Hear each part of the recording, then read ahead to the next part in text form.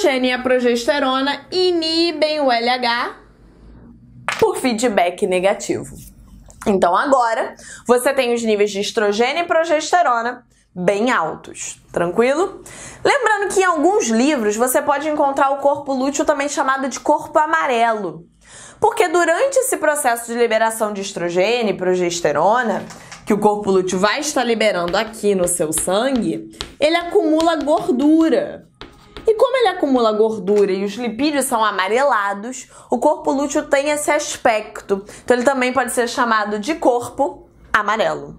Então agora você está naquele momento do ciclo em que os seus níveis de estrogênio e progesterona estão bem altos. E para que, que esses hormônios servem? O estrogênio e a progesterona servem para espessar o seu endométrio, aquele tecido que está na parede do útero, que serve para nutrição e para nidação do embrião. Então, durante alguns dias, o seu corpo lúteo vai liberar estrogênio e progesterona no seu sangue, e o seu endométrio vai crescendo, tá? No primeiro dia do ciclo, o seu endométrio estava saindo pela vagina, ele estava muito fininho. Conforme o estrogênio e a progesterona foram sendo liberados, o estrogênio vai crescendo e vai crescendo.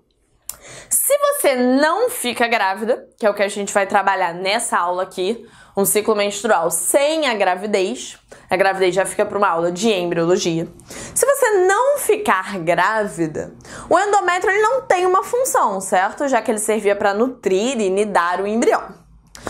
Você não fica grávida, depois de alguns dias, o corpo lúteo, sem nenhum estímulo vindo de nenhum embrião, começa a morrer. Então esse corpo lúteo ele vai ficando cada vez menos amarelo e cada vez mais branco, porque ele vai perdendo gordura e acumulando fibras. Então, em alguns livros, o corpo lúteo deixa de ser chamado de corpo amarelo e conforme ele vai morrendo, ele pode ser chamado de corpo albicans, porque ele vai ficando esbranquiçado. O que você precisa entender é que conforme o corpo lúteo morre, como era ele que produzia estrogênio e progesterona, os níveis desses hormônios esteroides começam a cair. Conforme o nível de estrogênio e progesterona cai, o endométrio não tem mais força para ser mantido na parede uterina. Então você começa a ter essa queda hormonal, ó. O estrogênio cada vez vai ficando mais baixo, cada vez vai caindo mais. Mesma coisa a progesterona. O nível de progesterona, conforme o corpo lúteo vai morrendo, vai ficando cada vez menor. Sem estrogênio e sem progesterona, o endométrio começa a sair pela vagina, começou a sua menstruação, voltamos ao primeiro dia do ciclo. Nesse momento da queda do estrogênio e da progesterona, você pode ter também aquela tensão pré-menstrual. Quando o corpo lúteo começa a morrer e os níveis de estrogênio e progesterona começam a cair, você tem alterações muitas vezes de humor. Você pode ficar meio irritada, você pode ficar um pouco triste, você pode se sentir mais inchada também, você pode ter alterações fisiológicas que configuram a tensão pré-menstrual. Depois, conforme esses níveis chegam no ponto mais baixo, o endométrio começa a sair, a descamar, você começa a menstruar. Voltamos ao primeiro dia do ciclo a hipófise volta a liberar o FSH e começa tudo de novo. Normalmente, a cada mês, poucos folículos ovarianos vão crescer, tá?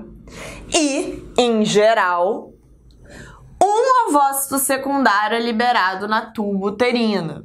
Ah, Camila, mas eu tenho dois ovários. Sim, os ovários eles normalmente se alternam. A cada mês, um ovário vai liberar um ovócito em uma tuba.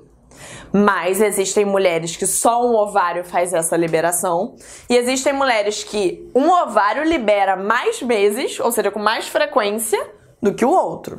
Mas no vestibular, o vestibular costuma abordar esse ciclo certinho.